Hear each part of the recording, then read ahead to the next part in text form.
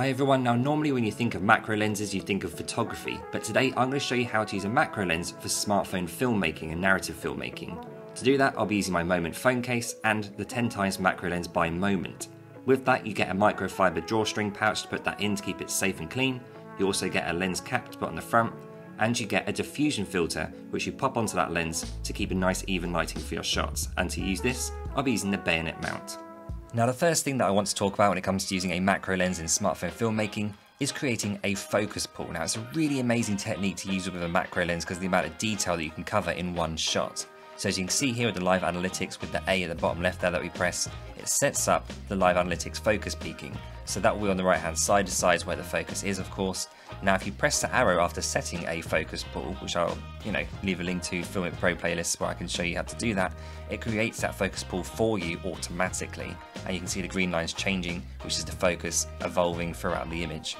Now without the green lines you can see here much clearer in broad daylight how the detail in this wood from a fence post looks and it just creates a really dynamic shot which looks stunning. Now the number one tip that people talk about when it comes to photography with a macro lens is that lighting is everything. And lighting really is everything when it comes to filmmaking as well with a macro lens. Right now, the sun is coming from my right hand side where the clouds are. It's obviously the UK, very cloudy today, but the sun is poking through. So it's lighting up more this side of the yellow deck chairs than the opposite side. So you want to be filming towards this side, but if you film directly here, you might be able to see there's shadows on the deck chair, so you don't want the shadows in your shot. So you've got to think about the shadows that are coming into your images as well as the direction of the light. So on this side, you can see that we're not blocking the sunlight from the subject creating shadows. We're not filming on this side, which would be into the shadows. We're actually got an angle of about 45 degrees to the actual sunlight. So you want 45 to 90 degrees of the sunlight angle filming away from that. And that way you're gonna have a nice even light with a diffusion filter hood as well here, which is gonna even out those shadows. And remember that this hood on the Moment macro lens is about an inch long, which is the distance you want the macro lens to your subject. So you can use that as a guide as well. And always think about, in that case, the angle of the sunlight to your subject, to you, and how you're going to work in relation with that to avoid the shadows and make the most of the light that you have. Now with smartphone filmmaking with a macro lens, it's really important to keep that lens spotless. So right now I'm using a moment cleaning pen. On this end, you've got a smudge remover, so that's going to get rid of uh, fingerprints, smear marks, anything like that that's on your lens, and you can get that straight off the lens and keep it clean. And it's small enough that you can use it on the back part of the lens as well. Now, without the back cap, because Moment doesn't provide those, you do need to keep an eye on that as well, because you don't want to get kind of little marks on your lens or any kind of smear marks that will end up making the image look a little bit creamy, a little bit misty almost. And you can see the little dust particles and little marks that have come off on that as well from this shot here. Now on the other side of the pen, you've got this red button, which when you slide up reveals basically a paintbrush type effect. So you can just use that and just quickly get all the dust particles off the lens as well. So you get both bases covered with this pen and it's a really good tool and you have to make sure that that lens is clean because obviously when you magnify the image, you magnify dirt as well. So make sure you keep that nice and clean. Something that's really tricky to do with smartphone filmmaking and a macro lens is creating movement within your shots. Now obviously if you're in handheld it can create a lot of bumps and movements so when I tried to use both hands sliding along the desk here to smooth it out, it really didn't work too well at all. When I used my right hand on the desk and rose my left hand off the desk, it started to get a bit smoother and nicer shots, but it wasn't quite where I wanted it. Then I remembered I had an IKEA wooden phone stand. Now this smooth wooden phone stand on the smooth wooden table really creates a nice sliding effect. So I put my hands both onto this wooden stand and then used that to slide across the table after a couple of misfires there as you can see and it created something much much smoother than I could have done with just my hands so use whatever you have around you if you've got suitable surfaces and things to work with to create a much smoother image. You can see here how much smoother that is once I use that technique. Of course, using an actual slider, like this Neewer slider, can create a really nice shot as well. Once you fix it onto there, the only issue is, is that you're trying to get that slider and your phone as close to your subject as possible, and that can be really tricky when you're using a lot of equipment like this. So after a lot of adjusting and reframing, I managed to get a shot that really worked well. Now I'm not going to lie, this actually took quite a lot of attempts. I would say this is about my 10th attempt, but I was really happy with the result in the end. You can also use the diffusion filter hood on the macro lens to push into subjects and dirt to make it look like something's moving through it.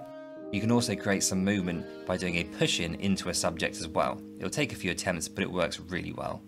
Something that's really interesting to keep in mind is how specific the focus is when you're using a macro lens. Now if you've got a flat subject like this which is just a fence post, even when you're moving down, it still looks really nice and in focus and looks sharp. on the deck chair here, really close up, virtually the whole shot is in focus because it's a flat surface or relatively flat. But when you've got something that's got a lot more bumps and grooves and different sort of terrains to it, like this stone, your focus can be very specific and it's going to be highlighted by the fact that everything else is going to be out of focus.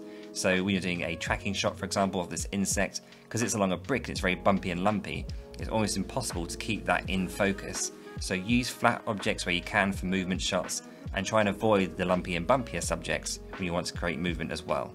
Something to think about as well when using a macro lens is that you are just going to have movement in your shots if you're going completely freehand like this. So as much as you want to get really smooth footage, and you can go down to slow motion with 1080p resolution, if you want the best footage, you're going to want to shoot 4K, which means you can't really shoot in that kind of slow motion, particularly with a macro lens. So if you want to get natural shots for filmmaking, the best way to do that would be to use a handheld rig. So if you want to smoothen out those kind of micro jitters from your hands into the camera, put them into something like a Beastgrip Pro rig or Ulanzi Urig Pro, which I've got completely different ends of the budget scale or anything in between. You put your phone in, you slot it in like that, and you've got your hands off of the phone onto the rig, which takes away some of those micro jitters, so it gives you a slightly smoother shot. So you got this with the actual handheld rig. And of course, remember it's a macro lens, so whilst it magnifies the image, it also magnifies any hand movements and jitters. So keep that in mind as well. So this is completely handheld, hands on the phone. You can see it's slightly more jittery. So it is a technique that you'd use for any certain projects really, but you can use this for filmmaking. It's a really good tool. And to get smoother shots, handheld rig, lean yourself up against uh, environments like this so you can get a bit more steady shots. Anything you can do to get steadier shots with the macro lens is going to be welcome, unless you want to get some quite edgy kind of shots. Something that's very good to explore as well when it comes to macro filmmaking on a smartphone is how to create a sense of depth. Now you'd be right in thinking that it must be quite tricky, but there are ways around it. So to do that, one of the ways I used was a automatic focus pull, our old friend that we learned about at the beginning of this video. And to create that sense of depth is a really interesting way to do it. You can also find things that are unusual, like this brick wall with loads of stones and glass on it, so it creates a lot of textures, and that also in itself creates a sense of depth, as well as the shallow depth of field that we've got here, and the blur in the background. Now glass is a very good subject to start filming through, obviously being see-through you can see what's behind it, so that creates a sense of depth as well. So find your focus point with your macro lens against that glass surface and you can use this as a really good tool to maybe show someone entering from a distance but in a blur from the background and create something really unique. Also, if you've got a subject that's like this, in the wind that's kind of being blown about, you can create a sense of depth by having it come in and out of focus. So here you can see it's in focus, as the wind pushes it back, it goes out of focus, and that's a really interesting, playful way to create a sense of depth of the field as well. And you can also use lighting, so you can see the spider web here, but the different lights and the dappled lighting in the background creates that sense of depth too, and the different textures and the colour lights as well. Now something that really surprised me is how useful this diffusion filter that the moment macro lens comes with. Now it's not only useful for diffusing light and getting rid of shadows, but it's actually also really good to stabilise your shots. Now with a DSLR camera, it's always advised to use like a big bag of rice so that you can rest your camera with a longer lens on it, but it doesn't really work with a phone because the phone's obviously so skinny. So using this diffusion filter to rest the phone on there, and you can use obviously subjects and objects that you have around the house that works well for you, you can get really, really stable shots just using that diffusion filter on a flat surface. Now obviously you can use a tripod as well, it's a bit tricky to get that nice and close to the subject that you want, because obviously with a macro lens you have to get super super close within about an inch with this macro lens, so a tripod can sometimes make it a bit tricky. Now, if you're getting handheld shots and you don't want that shakiness that you'd normally get, which can be good, as I say, for action or edgy kind of films, you want to stabilize that, because otherwise it's just no good. So using something that's around you, like this fence, something in your environment to lean against to stabilize your body, will then stabilize your hands, which will then stabilize your shots. So this is night and day compared to just doing a handheld shot, and using what's around you can create really nice footage. By far one of the best ways that you can use a macro lens is for extreme close-ups in reactions on someone's face and body. So for example you could use this for a horror film, a close-up of the eye darting around looking paranoid, looking anxious and scared, or if someone's reading a book that's very important to a storyline, you could have an extreme close-up of them taking in that information and maybe being surprised by what they see and then reversing that to the book, showing the words that they've read, and also suspicions, any kind of reactions that an eye can show. If you've got an annoying character, you can emphasize how annoying they're being by doing an extreme close-up of a habit they have, perhaps. That's enough, that's really annoying, actually.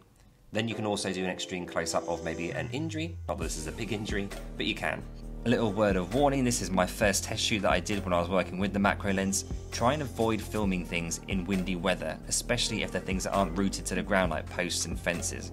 With plants and such, when it's windy, it goes all over the place and gets blown about so much that your focus very rarely stays where you want it to. So it becomes a bit of a pain in the backside, to be perfectly honest. So I hope you have much better weather than we do here in the UK and you're able to get stable footage out and about. But if you don't, just try and stick to things that are really stable in the ground and you can create shots that look absolutely brilliant for filmmaking with a smartphone with a macro lens.